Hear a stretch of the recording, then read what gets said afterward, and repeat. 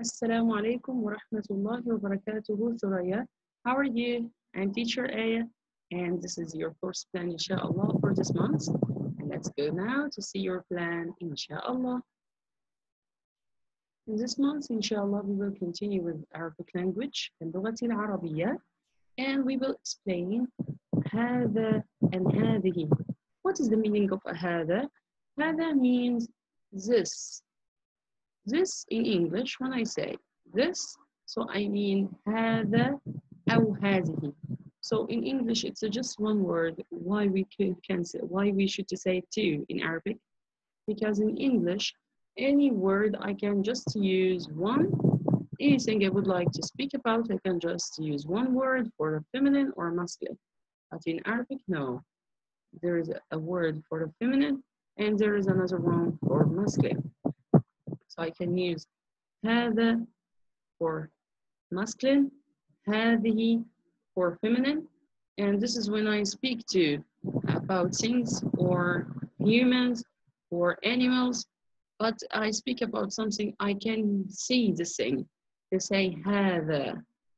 But when I mean, when I would, I would like to say like in English, I speak about something, this something is far, I can use تلك and ذلك.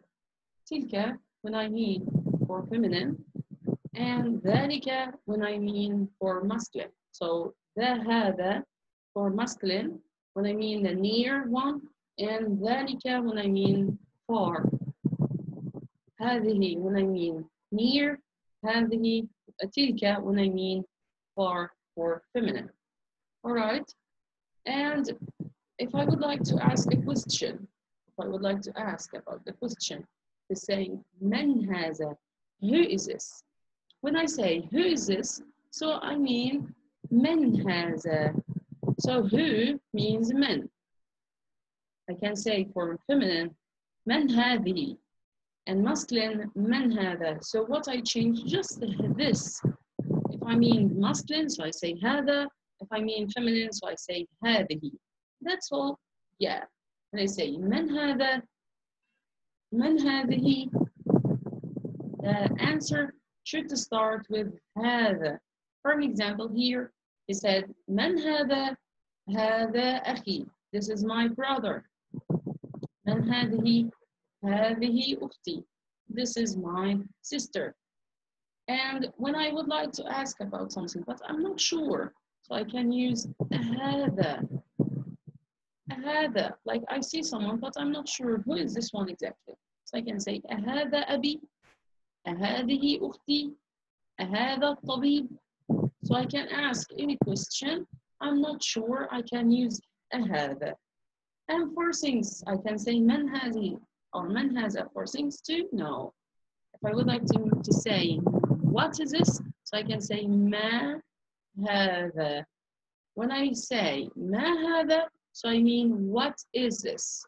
What is this? ما هذا. So I'm asking, what is this? What is this saying? Okay. That's all um, uh, we have. And we will speak, inshallah, in this lesson about jobs too.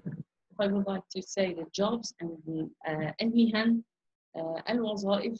We can use these two words when we would like to explain them and inshallah we will explain uh, to uh, inshallah a pronoun uh, the pronoun I would like to speak about myself الضمير المتكلم inshallah this is uh, our plan for this month surah I hope you understand inshallah in our sessions we will explain every detail in this plan جزاك الله خيرا السلام عليكم